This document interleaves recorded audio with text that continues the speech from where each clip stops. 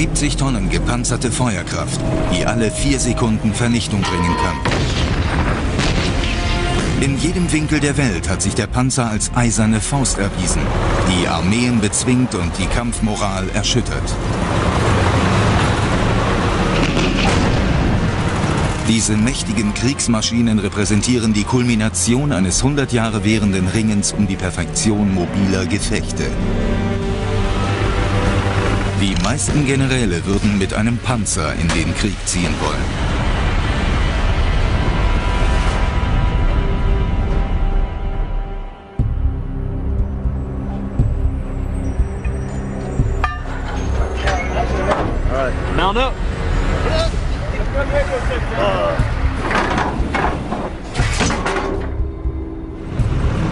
Der zweite Panzeraufklärungszug Company D, Teil der berüchtigten ersten Kavalleriedivision der US-Armee. Wir sind bei einer Übung in Fort Hood, Texas dabei.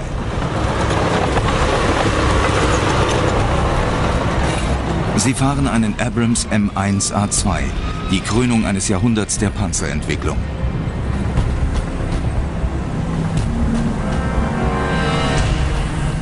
Während diese Kampfmaschine auf Herz und Nieren geprüft wird, zeigen wir, wie der Panzer immer weiter perfektioniert wurde.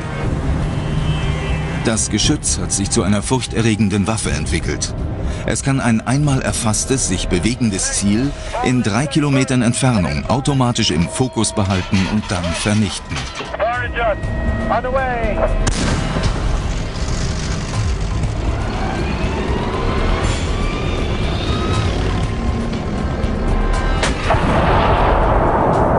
Moderne Geschosse können sich durch 800 mm dicken Stahl bohren. Die Armierung von Panzern ist heute in der Lage, solchen Geschossen zu widerstehen. Dennoch sind die Fahrzeuge leicht genug, um schnell und wendig zu sein. Die Effektivität dieses Exemplars der Panzerentwicklung wurde 1991 unter Beweis gestellt, als dieser Abrams zum ersten Mal zum Einsatz kam. Während der Operation Desert Storm kam es zu einer Kraftprobe zwischen 1500 Abrams-Panzern und 4000 irakischen Panzern unter dem Kommando von Saddam Hussein. Obwohl in der Unterzahl behielten die Abrams-Panzer die Oberhand, so Lieutenant General Paul Funk. Wir waren an einer 25 Kilometer breiten Front. Die Windgeschwindigkeit lag bei 100 Kilometern pro Stunde. Ich rief den Kommandeur des Kavalleriegeschwaders und fragte, wie ist eure Sichtweite? Er sagte 100 bis 300 Meter. Aber sie wären hier irgendwo.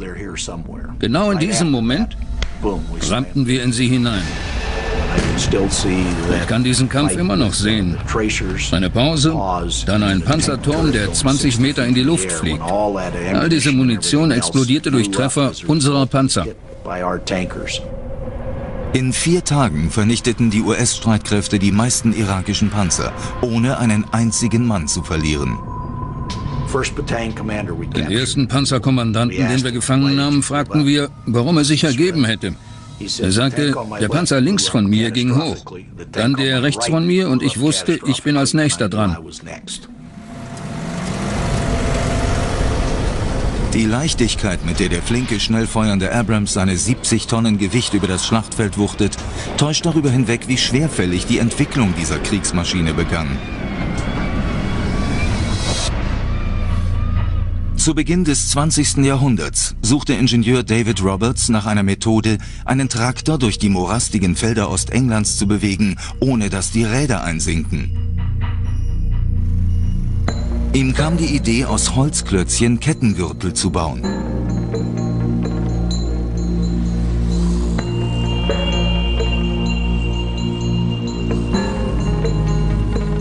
Sein Traktor würde sich unter seinen Rädern eine ausrollende Straße verlegen, während er sich fortbewegt.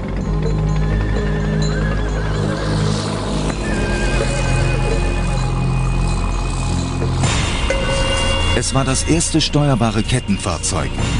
Die Ketten funktionierten wie Schneeschuhe, die das Gewicht über eine größere Fläche verteilen und so verhindern, dass der Traktor im Schlamm versinkt. Bis zur Idee, dass diese Traktoren statt Flug- und Heuballen auch Panzerung und Geschütze tragen könnten, war es kein weiter Weg.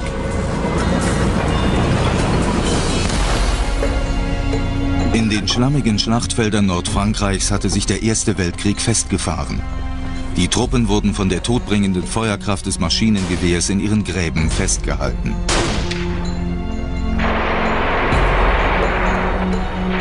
Gebraucht wurde ein gepanzerter Traktor, der das Patt aufbrechen konnte.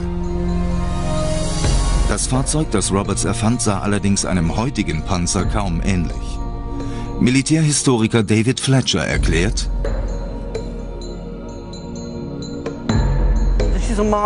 Das ist ein Mark IV Panzer von 1917. Das Geschütz befindet sich im Schwalbennest an der Seite. Der Hauptgrund dafür ist, dass innerhalb des Panzers der meiste Raum für den Motor benötigt wird. Dies wiederum geht darauf zurück, dass der Panzer mit Hauptaugenmerk auf Beweglichkeit im Gelände entworfen wurde und das Schießen von untergeordneter Bedeutung war. Sein Zweck war, durch die Stacheldrahtverhaue vor den Schützengräben zu brechen. Er sollte den Stacheldraht wegdrücken, sodass die Infanterie sich nicht darin verfing. Es hieß, sorg dafür, dass die MG-Schützen die Köpfe unten halten. Bring sie um, wenn möglich. Und dann fahre in und über die Gräben. Mit anderen Worten, wir stellen die Bewegungsfähigkeit im Gelände über die Möglichkeiten der Feuerkraft. Die Schlacht von Cambrai 1917 im Norden Frankreichs. Der Mark IV-Panzer war ein voller Erfolg. Er zerbrach den deutschen Verteidigungsring und schützte die vorrückende Infanterie vor Maschinengewehrfeuer. Allerdings hatte der Mark IV eine entscheidende Schwachstelle. Obwohl sich der Panzer nicht schneller als mit Schrittgeschwindigkeit fortbewegte, konnten seine grob vernieteten Ketten brechen und er blieb liegen.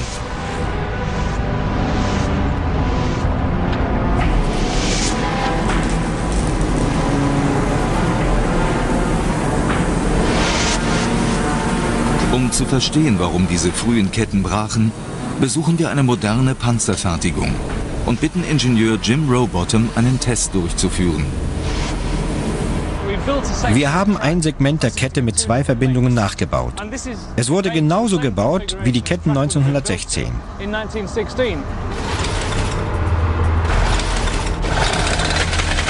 Der Kettenabschnitt wird sieben Stunden lang bearbeitet, um die Belastung zu simulieren, der er unter einem 28 Tonnen schweren Mark IV Panzer im Schlachtfeld ausgesetzt war.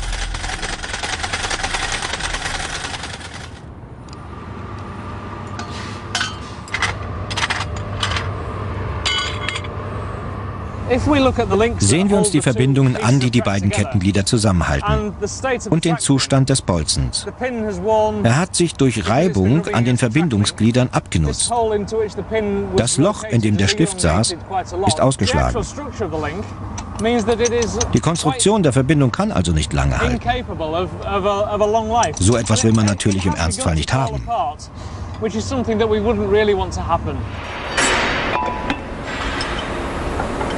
Um die Abnutzung bei modernen Ketten zu unterbinden, werden die Bolzen in stoßdämpfende Gummilager eingepasst.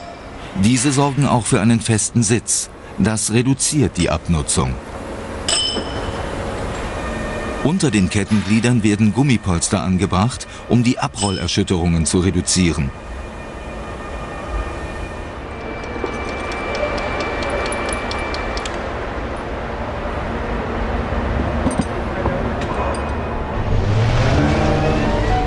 Der moderne Abrams ist ein Rassepferd verglichen mit dem Ackergaul aus dem Ersten Weltkrieg. Seine gepolsterten Ketten halten 5000 Kilometer und ermöglichen dem Panzer Agilität und Geschwindigkeit. Allerdings dauerte die Entwicklung fast ein Jahrhundert.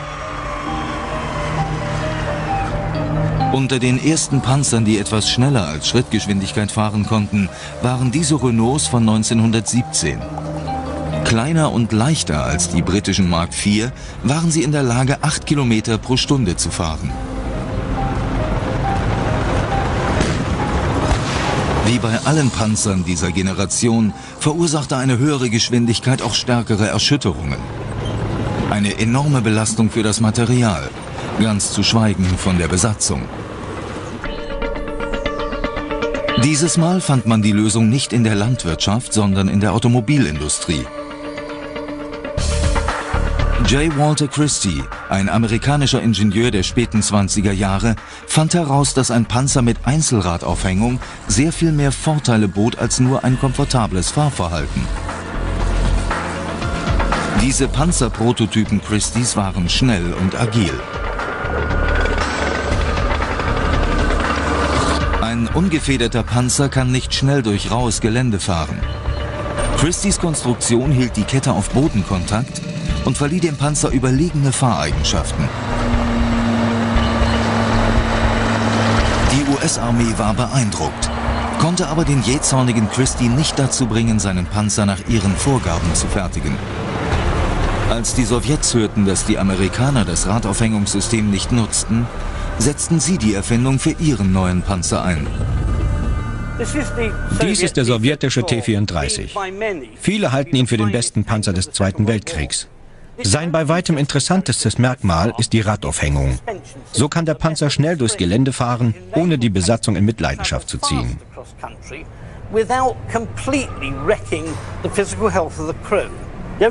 Wer einen Christie-Panzer schnell fahrend in rauem Gelände beobachtet, der sieht, wie diese Räder buchstäblich am Boden kleben, absolut unabhängig voneinander. Das verschafft der Besatzung einen fantastischen Komfort. Noch wichtiger als der Fahrkomfort war die Geschwindigkeit, die Christies Aufhängung diesen Panzern verlieh. Voll bewaffnet konnte der T-34 mit 40 Kilometern pro Stunde in den Kampf ziehen.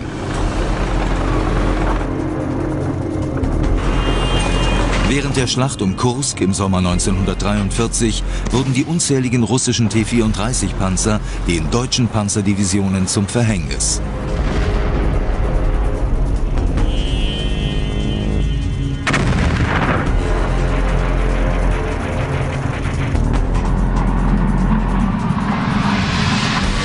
Jahre später kann der größere und schwerere Abrams das Schlachtfeld mit mehr als 65 Kilometern pro Stunde durchqueren.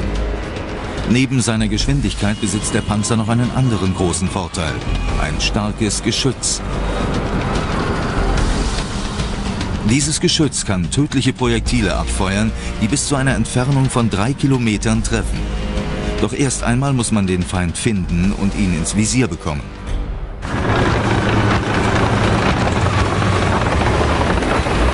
Während der Operation Desert Storm 1991 kämpften US-Panzertruppen nachts in Unterzahl auf unvertrautem Gelände und unter schwierigsten Bedingungen. Doch als es darum ging, ihre Ziele zu finden, waren die Abrams technologisch im Vorteil.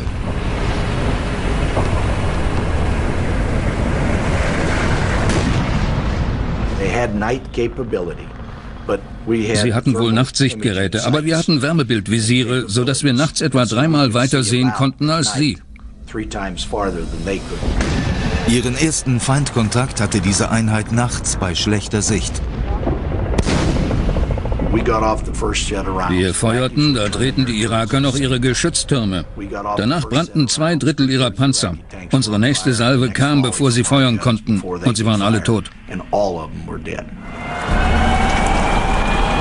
Der Abrams ist vollgepackt mit modernster Technik, die Ziele findet und ausschaltet.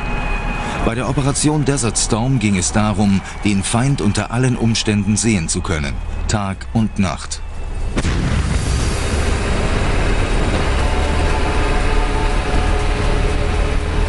Das Wärmebildsystem des Abrams arbeitet, indem es jedes Objekt, das Wärme abgibt, auf dem Schlachtfeld identifiziert.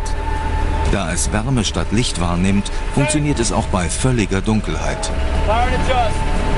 Auf seinem Wärmebildmonitor sucht der Panzerkommandant den Horizont ab.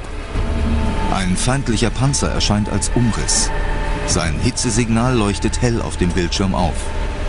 Der Kommandant gibt diese Information an den vor ihm sitzenden Schützen weiter.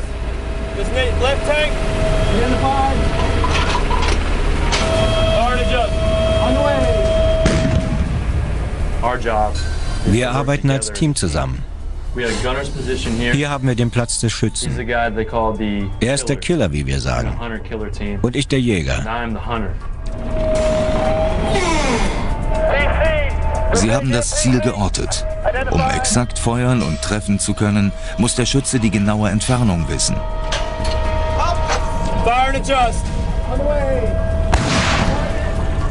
Wenn ich das Ziel sehe, drücke ich diesen Knopf, um einen Laserstrahl auszusenden, der die Entfernung zum Ziel misst. Ein Laserentfernungsmesser ist das Nonplusultra in puncto Genauigkeit. Er sendet einen Laserimpuls zum Ziel und misst, wie lange dieser braucht, um dort abzuprallen und zum Abrams zurückzukehren. Da Lichtgeschwindigkeit eine Konstante ist, bedeutet das eine einfache Rechnung für den Bordcomputer.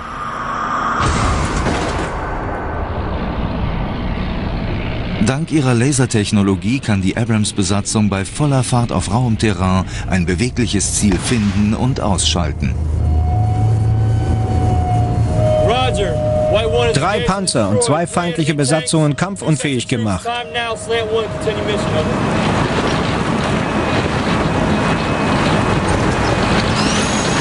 Obwohl der Panzer in Bewegung ist, hat die Besatzung ein klares Bild ihrer Umgebung.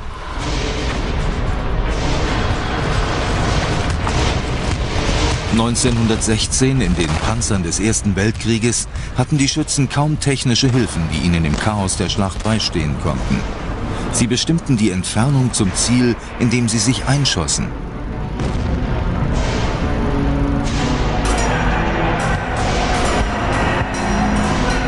Es war eine Technik, die bis zu den Kanonen des 17. Jahrhunderts zurückreichte. Die Geschütze waren schwer und mussten von Hand in Position gehievt werden. Es wurde mit bloßem Auge gezielt und die Entfernung wurde grob geschätzt. Lärm und Rauchentwicklung während der Schlacht machten die Sache nicht einfacher.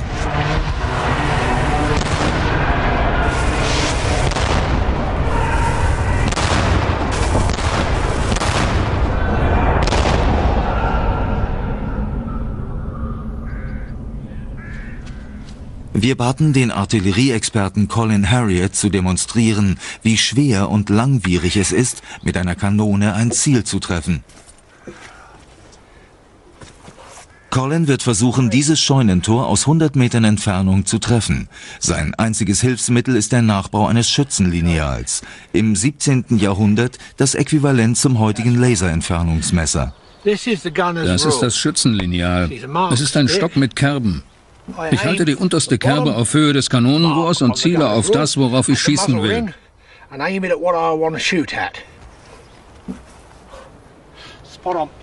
Er schießt so lange, bis er die Entfernung herausgefunden hat und das Ziel trifft. Aus der Schussbahn. Achtung! Feuer!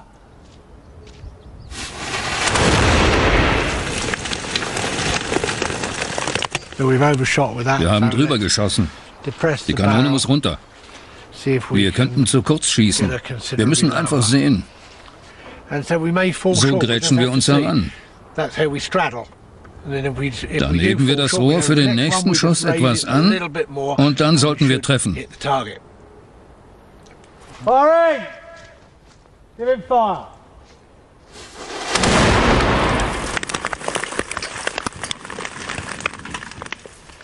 Die ging vorm Ziel runter. Wir müssen wieder etwas höher, bis wir es treffen.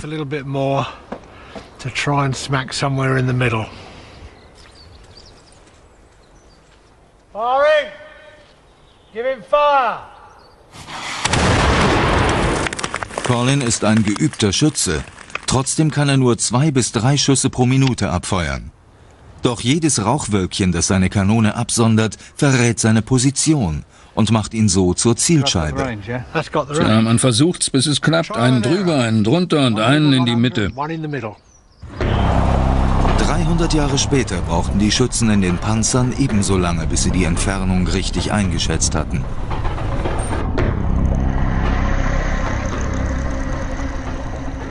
Hier arbeitet der Steuerbordschütze. Er hat diesen Hebel, der unter seine rechte Achsel passt. Seine rechte Hand reicht dann nach vorne zu diesem Pistolengriff hier. Dann setzt er sein Auge an dieses Teleskop an.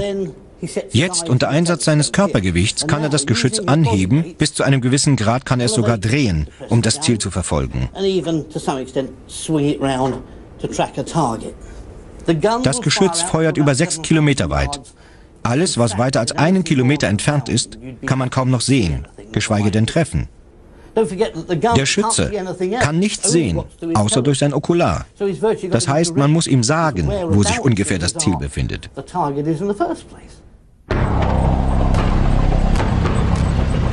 Um den Panzer zu verbessern, musste der gesamte Prozess des Zielens und Feuerns beschleunigt werden.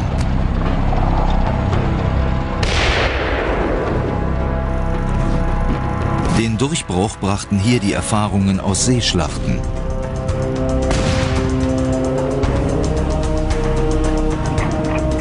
Die englische Marine hatte seit einiger Zeit ein optisches System zur Entfernungsberechnung. Es half ihren Schützen, kilometerweit entfernte Ziele zu treffen. Das Gerät war jedoch groß und schwer. Es passte kaum in einen Panzer. Es dauerte bis zum Ende des Zweiten Weltkrieges, bis der optische Entfernungsmesser klein genug war.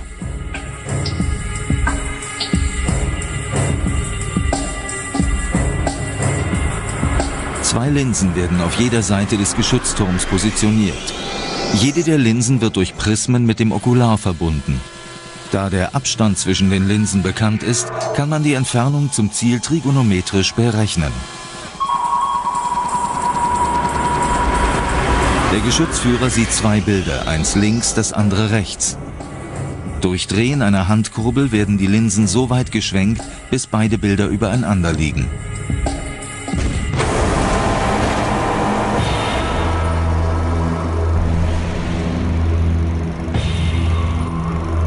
Bessere Zielgeräte bedeuteten, dass Panzer Ziele in weit größerer Entfernung treffen konnten. Dies ermutigte die Panzerkonstrukteure, mächtigere Geschütze zu bauen. Einer der gefürchtetsten Panzer des Zweiten Weltkrieges war der deutsche Tiger, mit dem stärksten Geschütz, das bis dahin in einem Panzer Verwendung fand.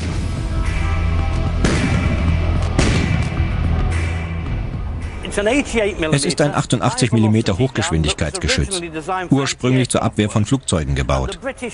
Die Briten hatten es in der Wüste schon fürchten gelernt. Die Deutschen waren flexibel genug, ihre Flaks zu Panzerwaffen zu machen. Mit der Feuerkraft dieses Geschützes konnten sie andere Panzer aus einer Entfernung ausschalten, die denen keine Möglichkeit ließ, zurückzuschießen.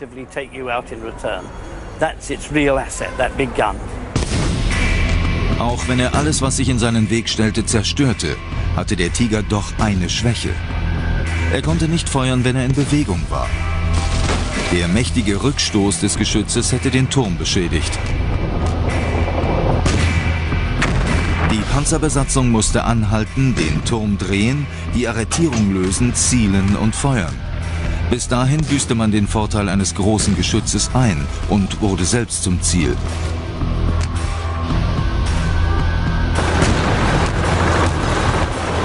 Panzer mit kleineren Geschützen konnten nicht zielgenau feuern, solange sie in Bewegung waren.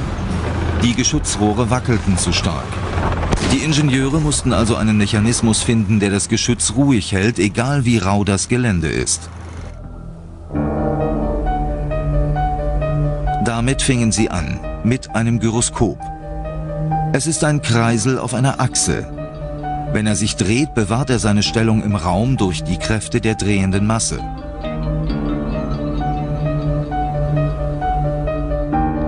Befindet sich ein Gyroskop in einer sich bewegenden Umgebung, verharrt es in seiner Lage. Verbindet man das Gyroskop mit den Positionstellern des Geschützturms, bleibt dieser wie das Gyroskop stabil in seiner Lage. Die Gyroskope in einem Abrams-Panzer halten das Geschützrohr ruhig, selbst wenn der Panzer durch schwerstes Gelände fährt. Durch den Einbau weiterer Gyroskope ist es möglich, das Geschütz während der Fahrt exakt auf das Ziel gerichtet zu halten und abzufeuern.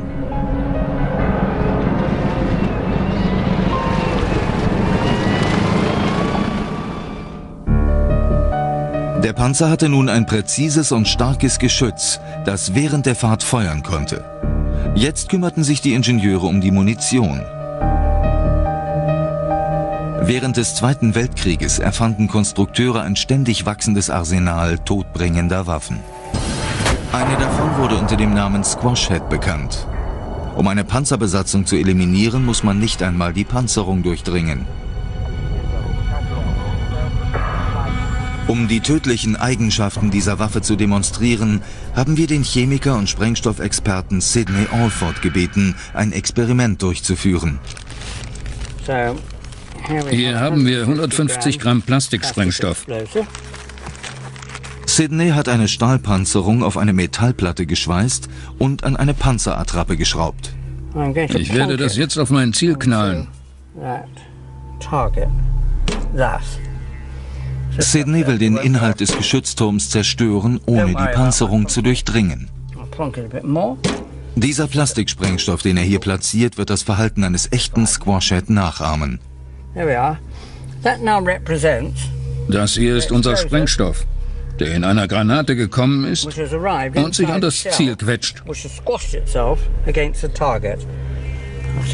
Das Einsetzen des Zünders macht aus einem harmlosen Klumpen Knete eine tödliche Waffe.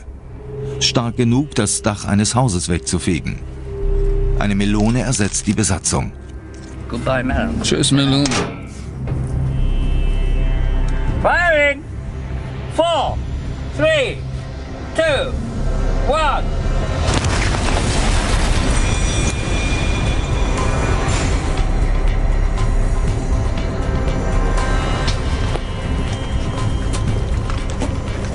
Ah, here we are. Auf den ersten Blick sieht es so aus, als hätte Sidney Squashhead seinen Dienst versagt.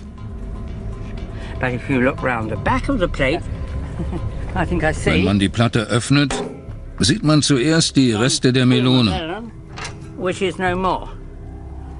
Und das hier ist immer noch warm.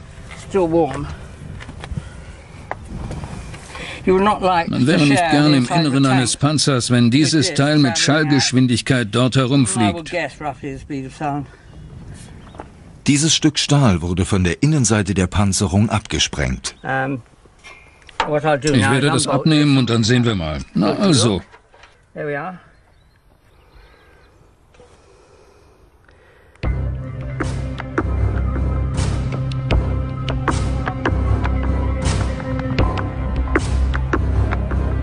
Der Squashhead sieht zunächst aus wie jede andere Granate. Sobald er auf den Geschützturm trifft, klebt er sich an die Oberfläche wie ein Kuhfladen. Die Schockwellen des Sprengstoffs verursachen kaum äußere Zerstörung, doch Vernichtung im Inneren.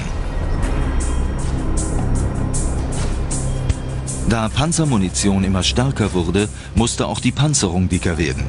Es begann ein Wettrüsten zwischen Munition und Panzerung.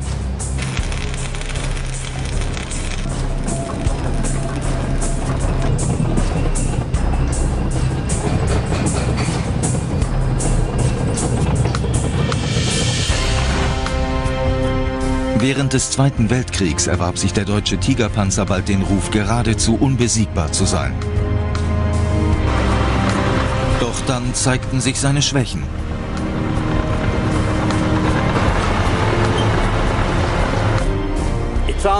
Seine Panzerung ist dicker als bei jedem Panzer vor ihm. Über 100 mm an der Frontseite. Er wiegt etwa 65 Tonnen. Deshalb sind einige seiner Möglichkeiten sehr begrenzt. Zum Beispiel braucht er aufgrund dieses Riesengewichts extra breite Ketten und viele Räder. Er ist so schwer, dass Motor und Getriebe schnell verschleißen.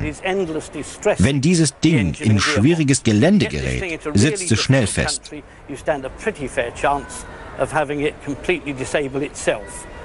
Es war das schwerste und stärkste mobile Gerät seiner Zeit.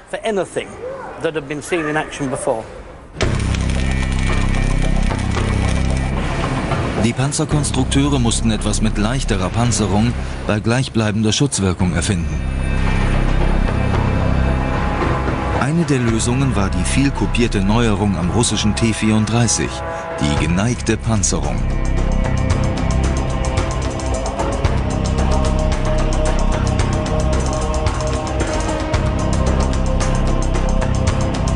Dieses Stück Panzerung ist 100 mm dick, wenn man es vertikal positioniert. Bei einer Neigung von 30 Grad werden daraus 200 mm. Die Beibehaltung der 100 mm benötigt nur halb so viel Stahl, was den Panzer bedeutend leichter macht.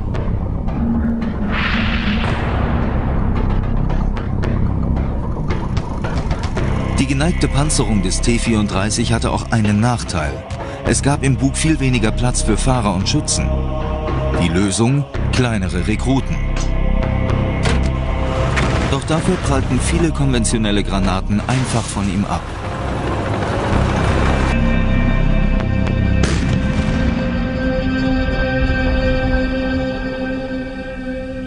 Die geneigte Panzerung zwang die Konstrukteure darüber nachzudenken, was diese neue Armierung durchdringen könnte. Der Kampf zwischen Panzerung und Munition erreichte eine neue Phase. Auf ihrer Suche nach neuen tödlichen Waffen blickten die Ingenieure zurück in die Geschichte und fanden überraschenderweise die Antwort in einem Prinzip, das bereits im 17. Jahrhundert bekannt war. Zu Zeiten der großen Belagerungen merkten Schützen, dass ihre Kanonen an Kraft einbüßten, weil die Kugeln locker genug sitzen mussten, um sich nicht im Rohr festzufressen. Das führte dazu, dass viel von der Kraft des Schießpulvers durch die Lücken an den Seiten verloren ging. Die Schützen fanden einen genialen Weg, diese Lücke zu füllen. Ein passgenauer hölzerner Pfropfen, der sogenannte Treibspiegel. Ich mache den Treibspiegel hier am Boden einer, sagen wir, Kanonenkugel fest. 400 Jahre später wird uns der Artillerieexperte Colin Harriet demonstrieren, wie ein Treibspiegel wirkt. Es ist einfach ein Stück Holz. Wenn die Feuerkraft der Kanone nur die Kugel trifft, verliert man zu viel an Energie. Die Druckwelle wird dadurch verstärkt, dass zunächst dieses Stück Holz getroffen wird und explodiert. Jetzt entsteht dieser erste Impuls, der die Kugel schneller und weiter fliegen lässt. Soweit die Theorie. Colin hat zwei Versuche. Er wird auf sein provisorisches Ziel feuern. Den ersten Schuss ohne Treibspiegel, den zweiten mit.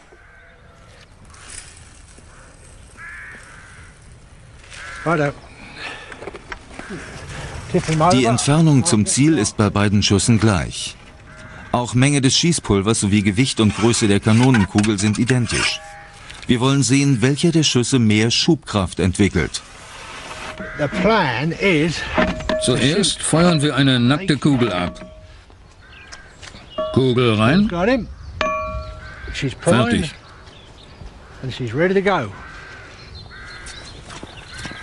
Steven! Give fire!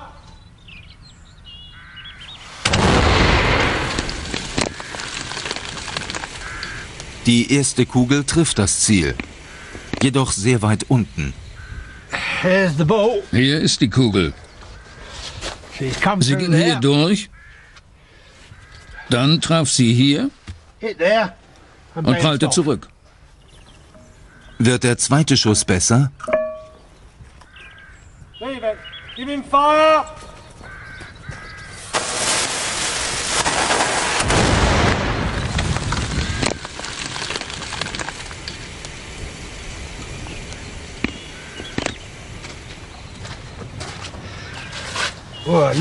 Schaut euch das an. Mitten rein. Die Kugel ist erstmal hier rein, durch gut 10 cm Douglas-Fichte. Der Treibspiegel bringt nicht nur mehr Kraft, sondern auch mehr Genauigkeit. Lasst uns sehen, was hier hinten passiert ist. Ein kleines Holzstück hat die Durchschlagskraft von Collins Kanone um ein Drittel erhöht. Sie war recht schnell. Dann haben wir hier drüben das zweite Ziel. Sie war so schnell, es scheint fast, als hätte das Holz nicht gemerkt, dass es getroffen wurde. Die ging gerade durch.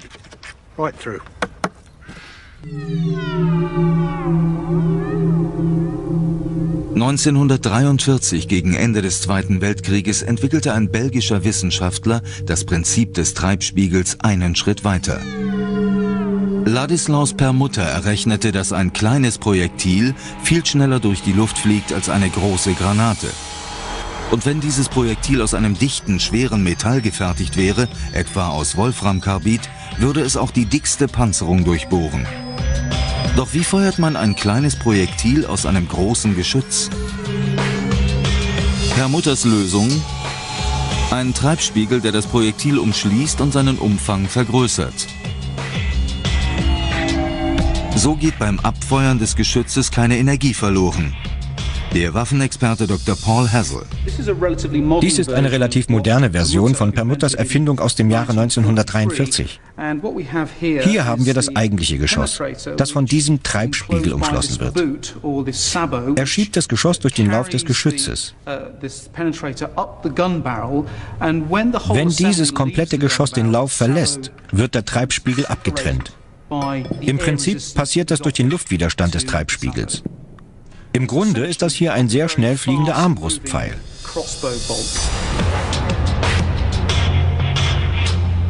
Während das Projektil in der Kammer sitzt, wird es von dem Treibspiegel fest umschlossen. Beim Abfeuern schnellt die Kombination durch den Lauf. Unmittelbar danach löst sich der Treibspiegel ab.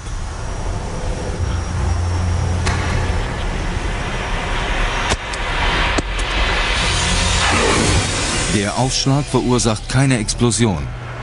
Aufgrund seiner Geschwindigkeit und Dichte durchdringt das Projektil die Panzerung und das Innere wird zerstört. Dieses Objekt ist von einem 120 mm Treibspiegelgeschoss getroffen worden. Hier haben wir so ein Projektil. An der Außenseite des Objektes erkennen wir eine ziemlich umfangreiche plastische Deformierung. Das Material wurde aufgebrochen und durch das Eindringen des Projektils dauerhaft deformiert. Diese durchschlagenden Waffen riefen neue Ideen zur Panzerung auf den Plan. Den Konstrukteuren war klar geworden, dass dicker Stahl nicht mehr genug Schutz bot, zumal er schwer war.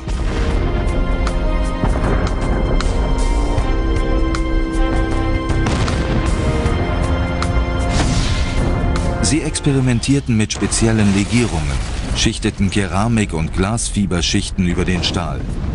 Manche der Schichten reduzierten die Schockübertragung von Squashhead-Granaten.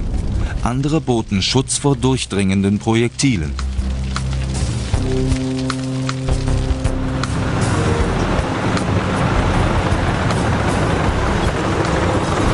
Der Abrams ist mit Schichten einer Kompositpanzerung verkleidet, um die Besatzung optimal zu schützen.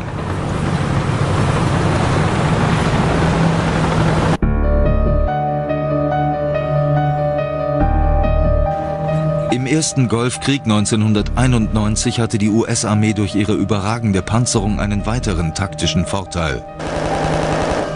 Lieutenant General Paul Funk. Bei der Operation Desert Storm gingen wir davon aus, dass wir im Bereich des frontalen 60-Grad-Bogens, generell der bestgeschützte Teil eines Kampffahrzeuges, keinen Durchschlag zu befürchten hatten, wenn der Schuss von über 500 Meter Entfernung abgegeben wurde. Wir vermuteten, dass wir ab 500 Meter jeden Beschuss durch Panzer oder Raketenwerfer abwehren konnten. Wir würden sie ohne eigene Verluste schlagen können und das bewahrheitete sich. Die Abrams konnten also näher aufrücken, um mit ihren Geschützen härter zu treffen. Ich erinnere mich an einen Bataillonsführer, der einen Funkspruch von einem seiner Kommandanten erhielt. Hier prallen die Panzerfäuste nur so ab von unseren Panzern. Wir dachten, das ist eine verdammt gute Sache. Nicht, dass man so etwas jeden Tag probieren will. Aber dennoch, wenn so etwas passiert, dann weiß man, die Ausrüstung funktioniert so, wie sie sollte. Im Wettstreit zwischen Munition und Panzerung wurden weitere Waffen ersonnen, mit immer abwegigerem Zerstörungspotenzial. Eine war das Hohlladungsgeschoss. Es kam erstmals im Zweiten Weltkrieg zur Anwendung. Diese einfache tragbare Waffe konnte einen Panzer unschädlich machen, wenn man nur nahe genug herankam.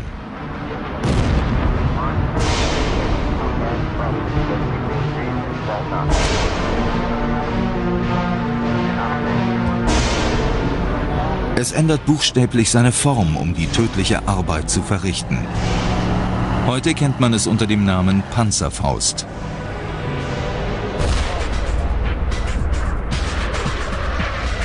Die Hohlladung besteht aus einem dünnen Kupferkegel, der von Sprengstoff umgeben ist.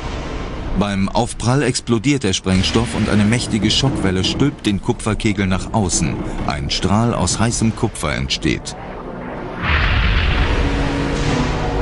Wenn die Granate also den Panzer trifft und der Sprengstoff detoniert, ist es dieser Strahl, der die Panzerung buchstäblich durchschneidet. Wir haben zwei Sprengstoffspezialisten zusammengebracht. Manfred Held und Sidney Alford.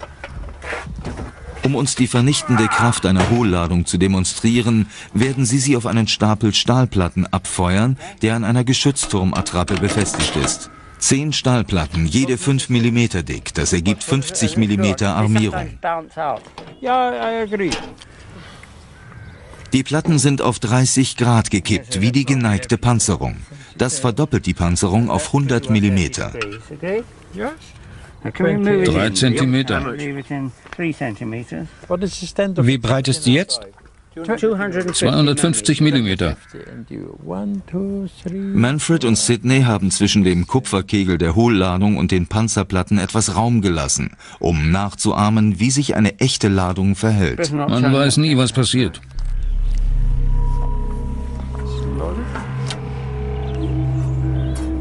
Eine Stahlplatte wird hinter die Melone gehängt, um die Penetrationskraft der Ladung zu zeigen. Sidney setzt den Zünder ein und zieht sich zurück.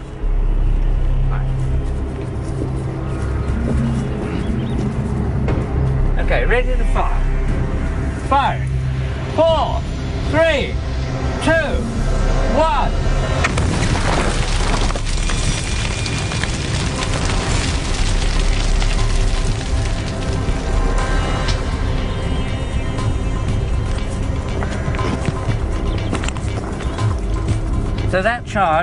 Diese Ladung hat sich wie eine klassische Panzerfaust verhalten. Das ursprüngliche Stück Kupfer, ein Kegel mit einem Durchmesser von ungefähr 65 mm, wurde zu einem langen Stab zusammengequetscht, der mit einer unglaublichen Geschwindigkeit erst die Platten, dann die Melone und schließlich die andere Seite des Panzers durchschoss.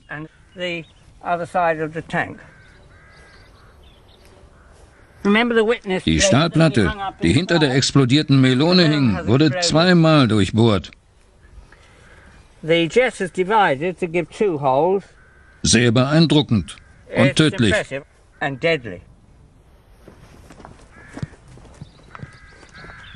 Sydneys kleine Ladung hat 100 mm Stahl durchschlagen.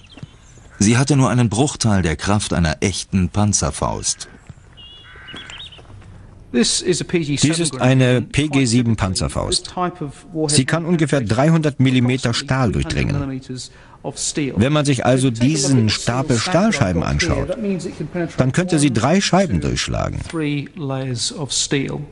Andere Varianten dieser Panzerfaust können bis zu 700 und sogar 800 mm Stahl durchdringen. Das ist also eine sehr ernsthafte Bedrohung. Doch wie kann man verhindern, dass Panzerfäuste einen Geschützturm durchschlagen?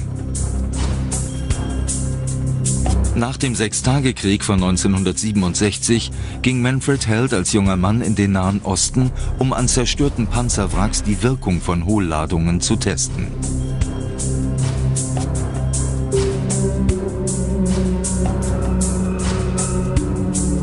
Er nutzte die Gelegenheit, Feldversuche mit echter Panzerung durchführen zu können.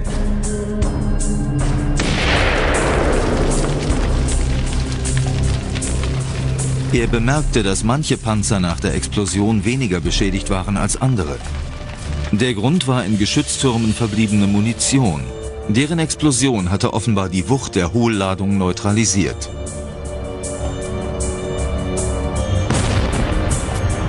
Manfred Held war auf ein neues Prinzip gestoßen. Er nannte es Reaktivpanzerung.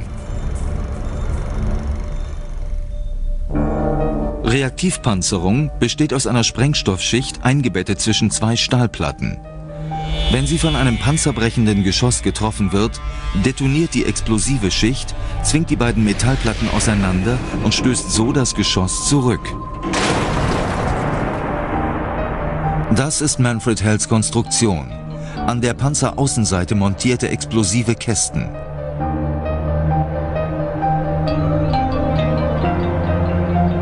Wirkung zu demonstrieren, feuern er und Sidney Alford eine weitere Hohlladung ab.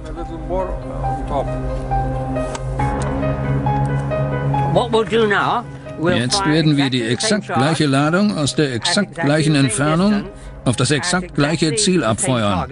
Doch diesmal haben wir eine Schicht von Professor Hertz Panzerung.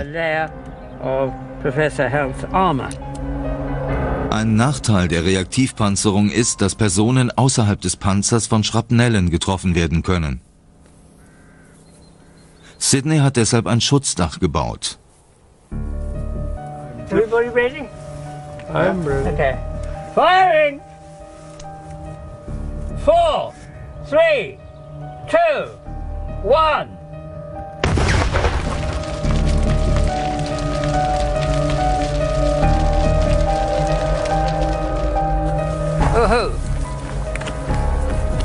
Einige Stahlplatten sehen aus, als wären sie durchschlagen worden.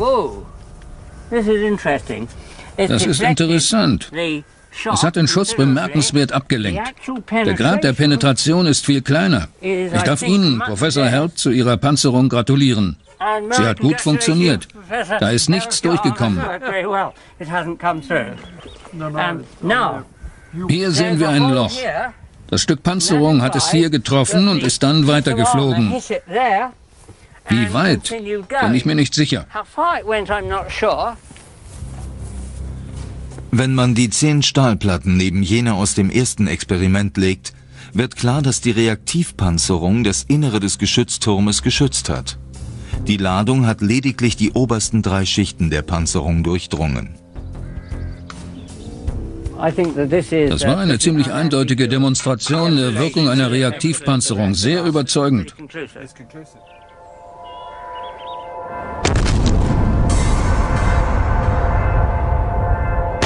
Die Entdeckung der Reaktivpanzerung markiert einen Wendepunkt im Wettkampf zwischen Waffe und Schutz.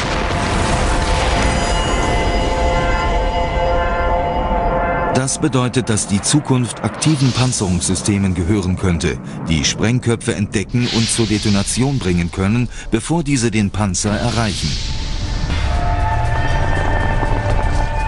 Für Konstrukteure ist das der heilige Gral. Sie könnten Tonnen konventioneller, schwerer, passiver Panzerung verwerfen und kleinere, leichtere Fahrzeuge bauen.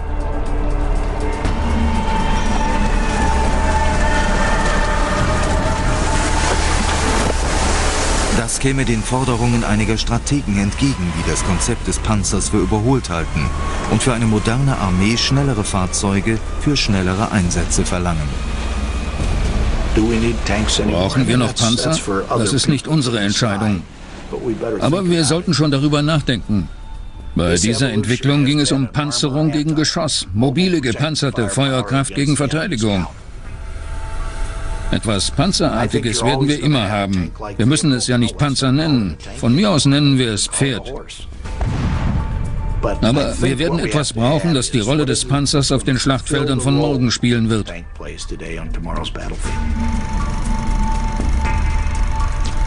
Eine Alternative wäre der Striker. Noch hat er keine aktive Panzerung. Er ist aber leichter und mobiler als der Abrams. Es gibt ihn in verschiedenen Ausführungen und er wurde entworfen, um in Kriegsgebiete eingeflogen zu werden.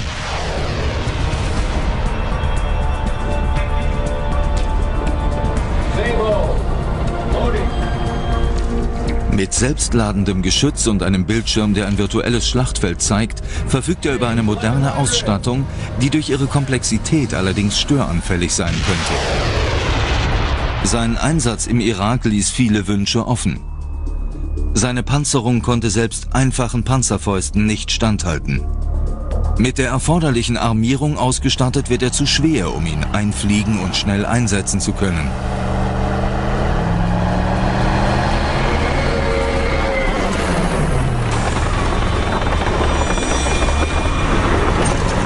Während der letzten 100 Jahre wurde der Panzer durch zahllose technische Neuerungen weiterentwickelt.